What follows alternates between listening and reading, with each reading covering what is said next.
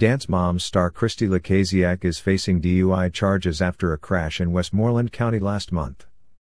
According to court paperwork, Murrysville police were called to the area of Logan Ferry Road near Remley Road the evening of June 27 for a single vehicle accident.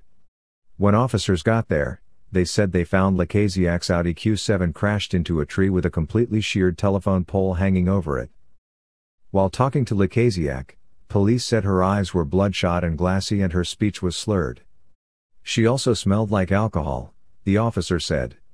The criminal complaint says Lukasiak admitted to having two glasses of wine at the Wooden Nickel before she dropped her friend off in Plum.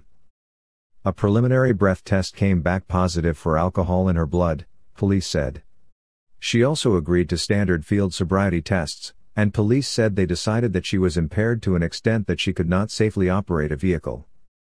Christi Lukasiak was a fixture on the show Dance Moms, a reality show that chronicled the drama at Abby Lee Miller's Penn Hill studio as Miller fought with moms over their daughters' dance destinies. Lukasiak was known for her contentious relationship with Miller, and Lukasiak and her daughter Chloe left the show in season 4.